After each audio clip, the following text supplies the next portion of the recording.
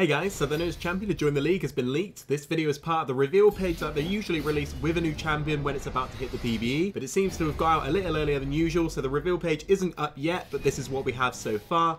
The new champion seems to have different forms. We should be getting much more detail in the next few hours when he's on the PBE, and uh, that should be nearing literally probably I'd say four or five hours from the release date of this video. So uh, for now, enjoy the sneak peek at Kayn's new abilities, and let me know what you think in the comments. Cheers guys.